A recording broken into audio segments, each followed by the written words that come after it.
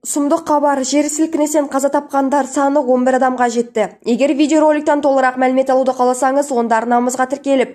Видео астындағы бар жоғы бір дана лайк түймесін баса кетулеріңізді сұраймыз. Онда бастадық.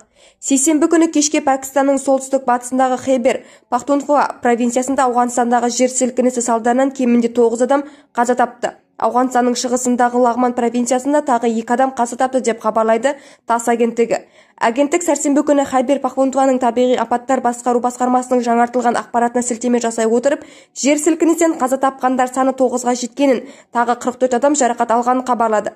Сейсенбі күні таңертең зе даун газеті хайбер пахтунхва шатыр мен қабырғалар құлап екі адам қаза тауып тағы алты адам жараланғанын хабарлады өз кезегінде реутers агенттігі пәкістан полициясына сілтеме жасап сват ауданының осы ауылында бір жүз елуге жуық адам жарақат алғанын хабарлады.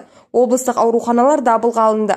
Егер сізді осы және басқа да хабарлар қызықтырса онда арнамызға тіркеле өтіңіздер. Сау саламат болыңыздар.